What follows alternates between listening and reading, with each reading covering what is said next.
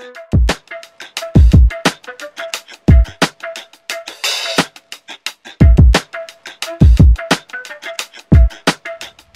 ich grüße euch. Hier ist Friede. Mal wieder. Und heute ist nur nach anderthalb Jahren meiner Schnapsidee, ähm, damals die Tote Energiestrecke zu Fuß zu laufen. 44, irgendwas Kilometer. Ähm, heute ist nun der Tag gekommen, an dem eine Fortsetzung dieser Schnapsidee von damals stattfinden soll. Nämlich, dass ich äh, jedes Jahr immer so lange laufe, so weit laufe, wie ich alt bin. Nun bin ich 45 in diesem Jahr geworden und es ist Zeit, meine eigene Vorname in die Tat umzusetzen. Ich drehe mich mal so ein bisschen langsam herum. Eine äh, wunderschöne Runde habe ich mir jetzt hier direkt vor den Toren Göttingens zurechtgelegt. 5,3 Kilometer ist sie lang.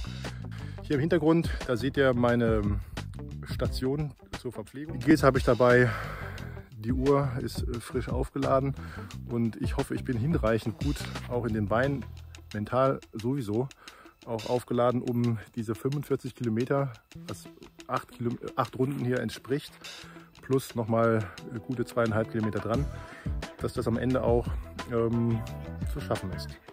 Ja, genug der Vorrede. Jetzt geht's wirklich los. Brille auf und wir starten jetzt.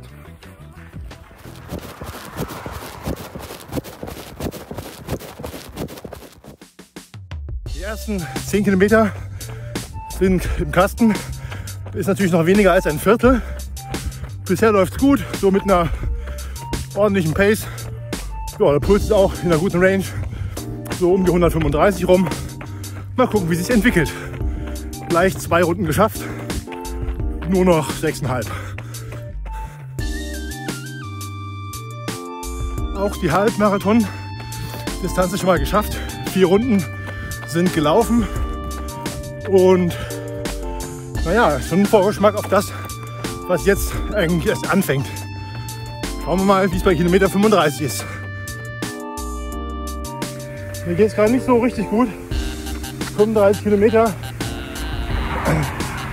sind zwar schon geschafft und man möchte sagen, nur noch 10 Kilometer, aber es sind halt auch noch 10, immer noch 10 Kilometer. Ja, das ist ganz schön hart. Alleine.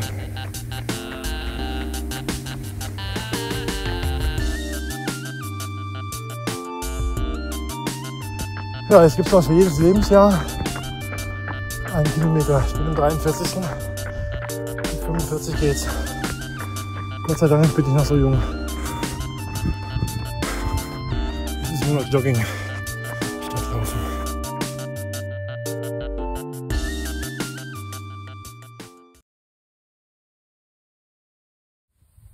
So, ich sage nicht viel,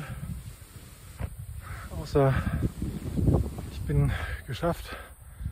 Es war sehr, sehr, sehr mühsam zum Schluss.